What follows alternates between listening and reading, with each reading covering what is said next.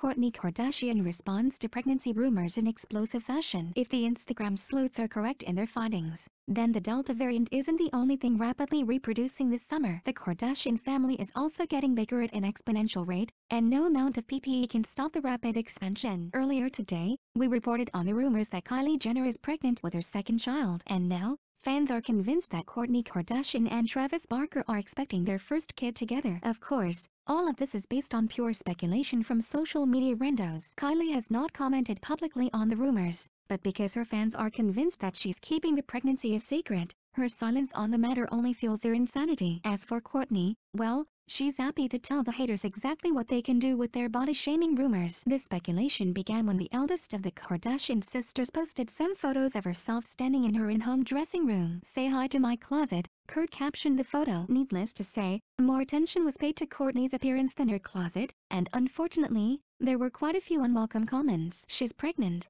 one fan commented and sadly, that remark earned a good number of likes and was echoed by a surprising number of people. Kourtney didn't seem terribly upset by the rude speculation, but she was quick to set the record straight.